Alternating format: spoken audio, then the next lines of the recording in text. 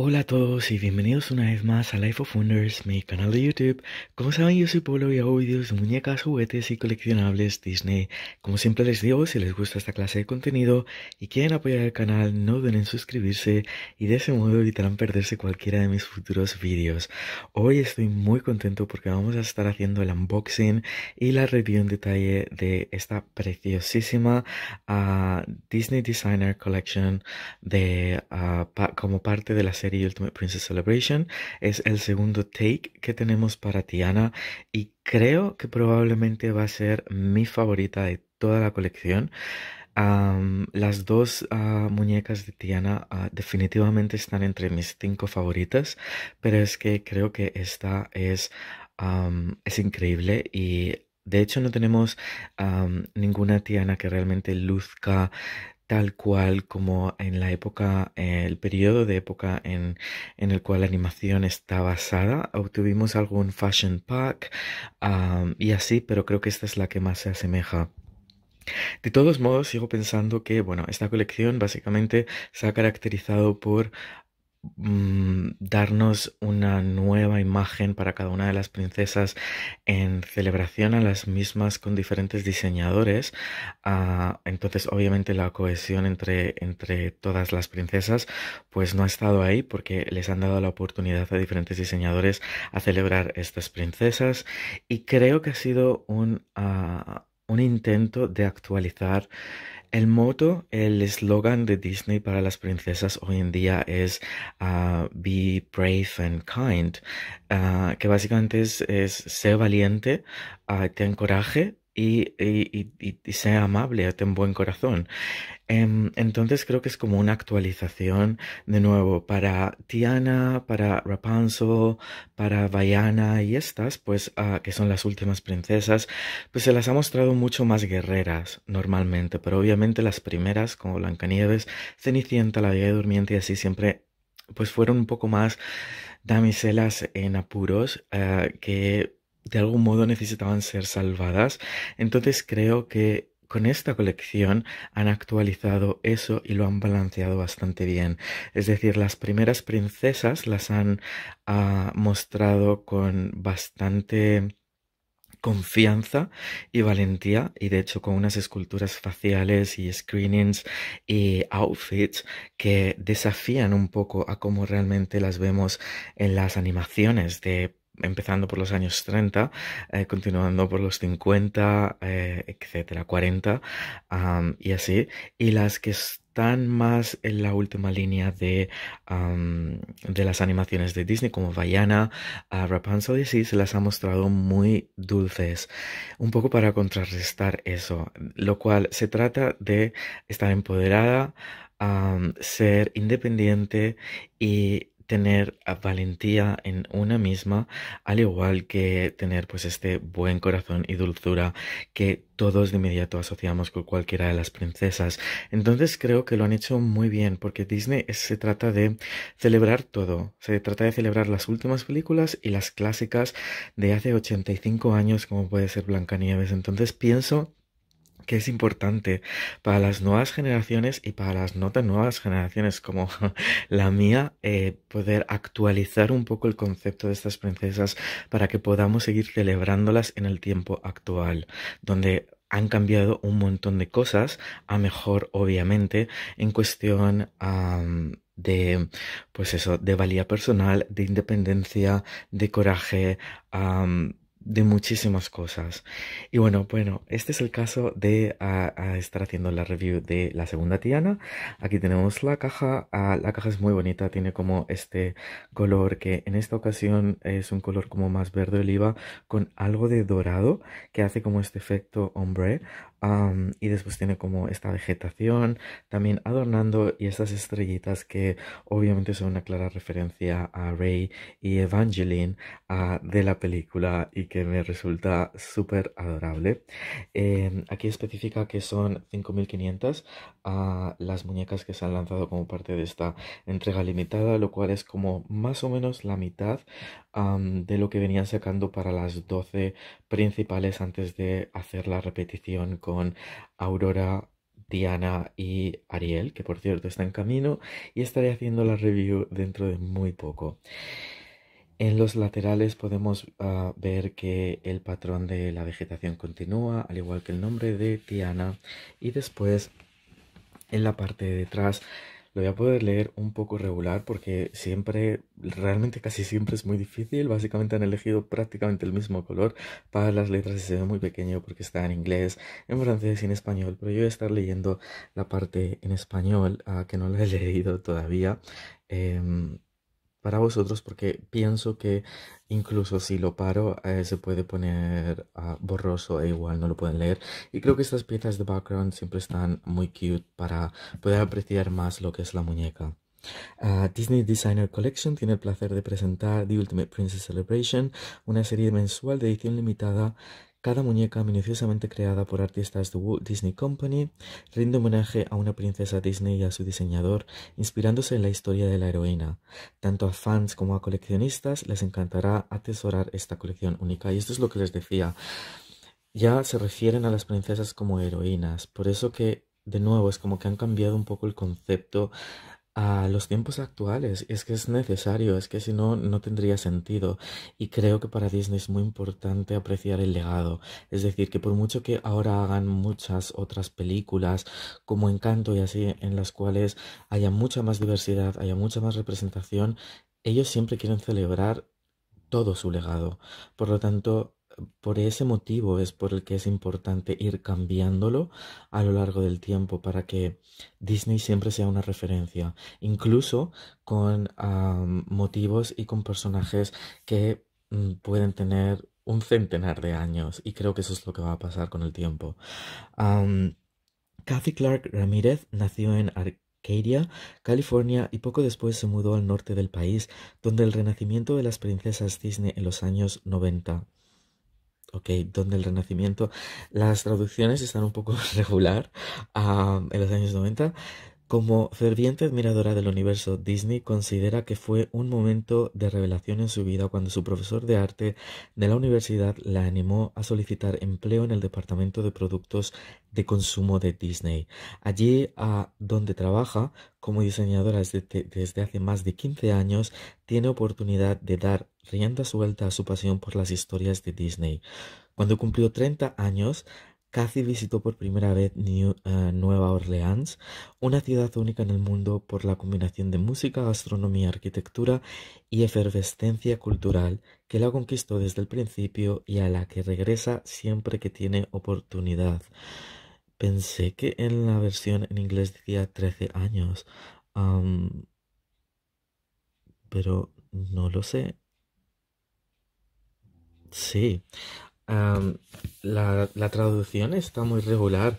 En, en, la versión en inglés, básicamente ahí pueden ver que en su uh, decimotercer, pero es como 13th birthday, a los 13 años, y aquí lo han traducido como a los 30 años. bueno, una ciudad única tal eh, todo esto lo hemos leído. Las influencias Art Deco de los años 20 y 30 creo que deberían igual tener un poquito, igual me podrían contratar, no sé, un poco más de cuidado en, en, estas cosas porque creo que básicamente alguien que, que, que, básicamente se dedica a la traducción uh, no hubiera cometido este, estos, estos errores que realmente encontramos un poco en todos y cada uno de las... de los eso, de los lanzamientos, pero, pero bueno, está ahí. Las influencias Art Deco de los años 20 y 30, ah, con sus líneas atrevidas y elegantes, resultaban perfectas para la fuerza, audaz y la determinación de Tiana. Por supuesto, Cathy añadió unas ah, pinceladas del estilo Lloyd de atrilidad de Nueva Orleans. La estrella de los deseos es también una simbólica protagonista de la historia que debía figurar, pero ¿Cómo mostrar Evangeline sin un guiño a Rey? Las luciérnagas no son solo pequeñas estrellas de bajo vuelo, ¿verdad? Así es como Kathy siempre las verá, pequeñas estrellas buscando a su Evangeline. Eso es muy cute, eso es tal cual como, como viene en la parte en inglés. Y bueno, ahora sí que les voy a mostrar eh, abriendo las solapas como luce Tiana, porque es que luce tremendamente preciosa. Ahí la pueden observar. Es una muñeca súper bonita.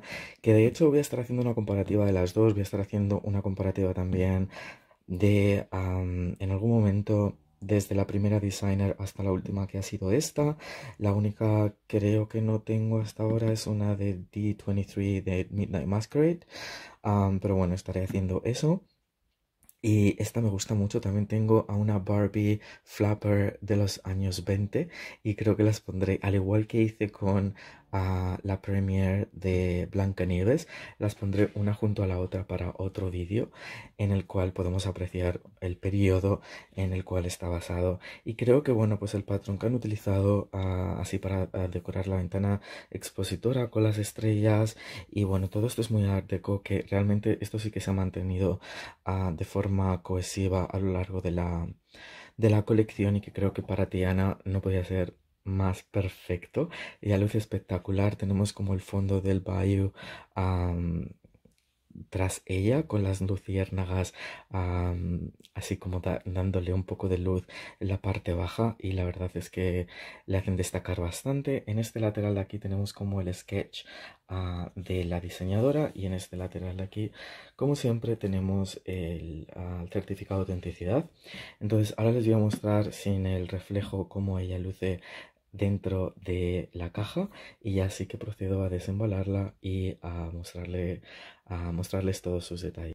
Y aquí podemos observar a Tiana en esta pose ah, que realmente le hace ver tan, tan bonita. Ah, de hecho, como que la captura en movimiento de alguna forma y se ve se ve muy linda. El fondo del bosque con las luciérnagas creo que también contrastan de un modo excelente.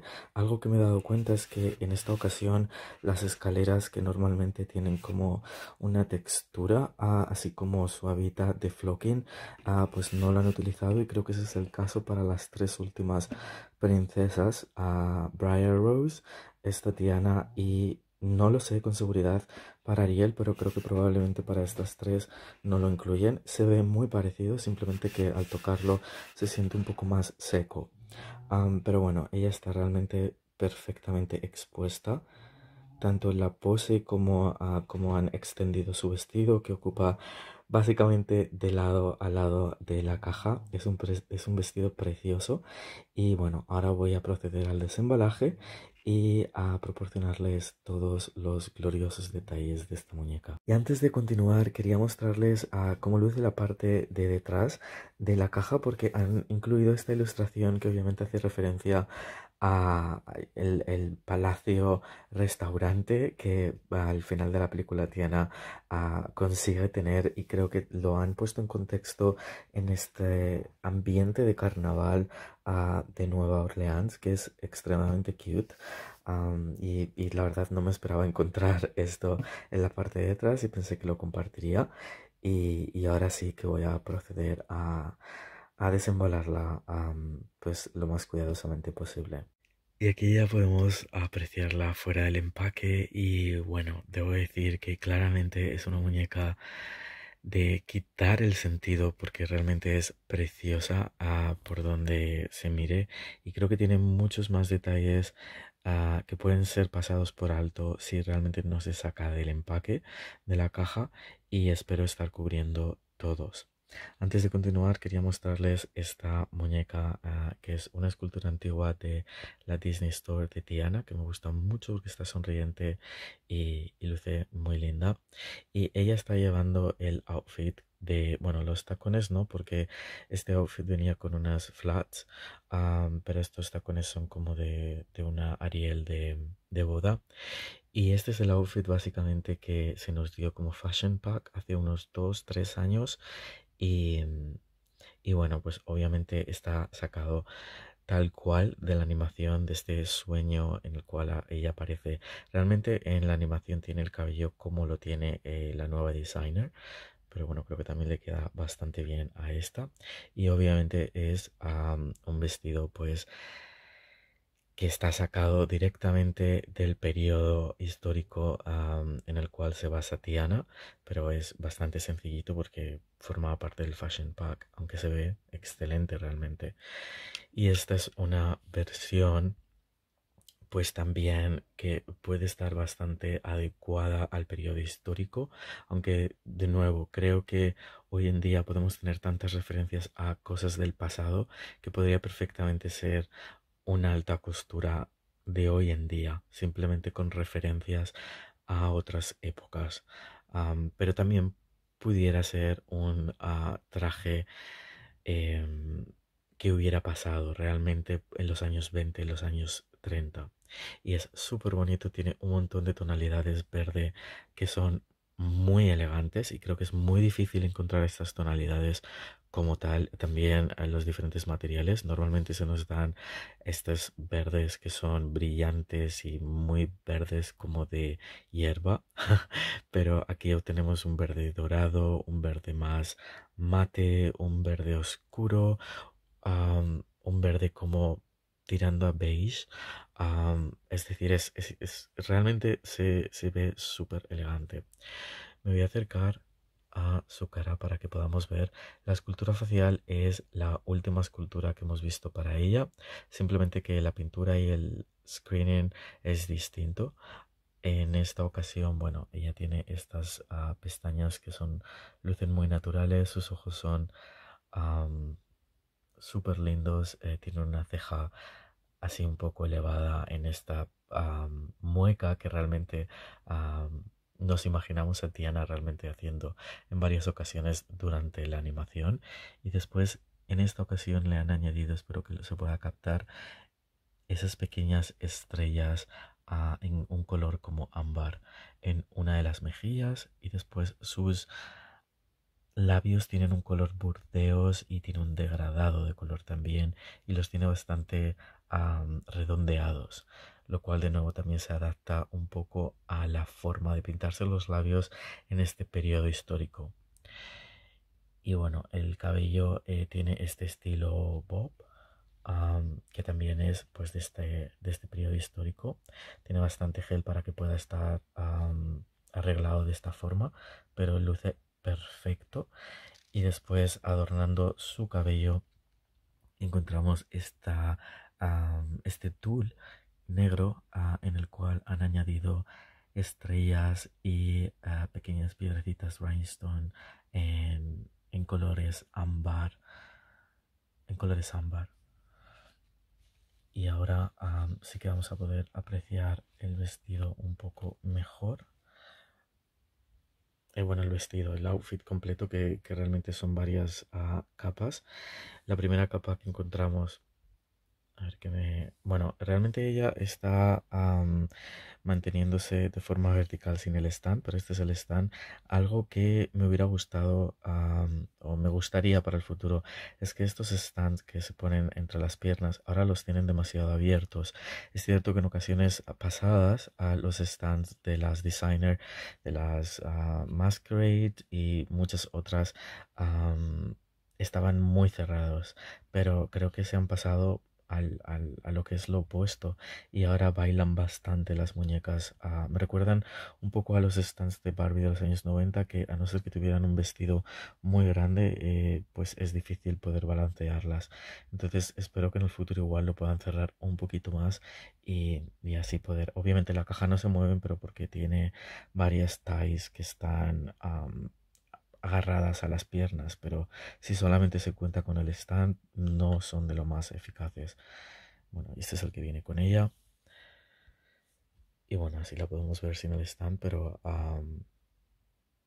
bueno, es que luce súper bonita. Entonces, eh, la primera pieza que encontramos ah, como parte de su outfit es esta, este abrigo, chaqueta, capa Em, está hecho como de este material, como de organza, en el cual está, mm, tiene como el ribete hecho solamente en la parte eh, exterior para que se sienta así un poco translúcido realmente y han añadido pues toda esta pieza de bordados que son como estrellas fugaces y así y tiene también muchas piedrecitas rhinestone ah, de nuevo en colores como dorado ámbar y también tiene este botón de aquí que realmente se puede cerrar o se puede mantener abierto. A mí me, gusta como luce así abierto porque pienso que el outfit gana un montón sumándole todas las capas. Y después tiene como esta solapa alrededor del cuello que es como aterciopelado y de nuevo tiene como este brillo beige dorado que se siente súper lindo. Y ahora si le doy la vuelta van a ver algo espectacular que de otro modo pues no verían y es esta estrella esta estrella de los deseos esta Evangeline que está bordada justo en el centro de, esta pieza del atuendo con cuatro piedras en los cuatro polos y después si me voy hacia detrás pueden ver que incluso la silueta tiene esta forma de estrella también la silueta de todo el outfit completo, con las ah, mangas, con los brazos extendidos. Y luego en la parte de abajo, esto es muy art deco, ah, con las líneas rectas y también pues estas estrellas fugaces y más piedrecitas en dorado y en ámbar. Y bueno, esta es la parte del vestido que cae hacia abajo y hacia detrás y tiene como dos colas. Es como un poco cola de sirena, pero realmente es bastante abierta y es súper bonito. Y ahora lo vamos a ver en la parte de delante con una mano es un poco difícil, pero así es como más o menos ah, puede lucir ella mejor.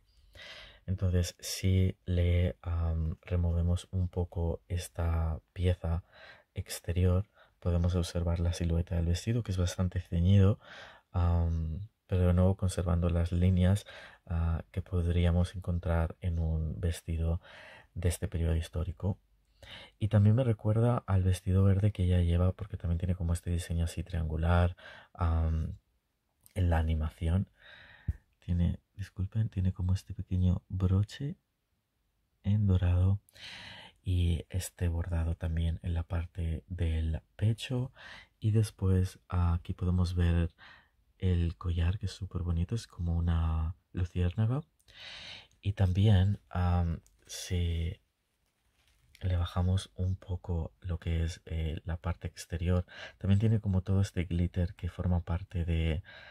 Bueno, realmente está aplicado por fuera, o sea, no, no, no forma parte del plástico, está como aplicado encima, pero le da como esta, este toque radiante al, a la piel en dorado. Entonces eh, detrás encontramos esta pieza que es como otra luciérnaga en dorado con otra joya de rhinestone en blanco. Entonces si ven que hay muchos detalles que están casi escondidos y que, y que realmente se ven espectaculares ah, desde cualquier ángulo. Y, bueno, después uh, la parte de la falda hace como estas tablas aquí.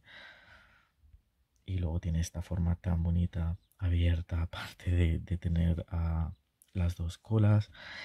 Y, y, ella lleva estas medias en un color también como salmón.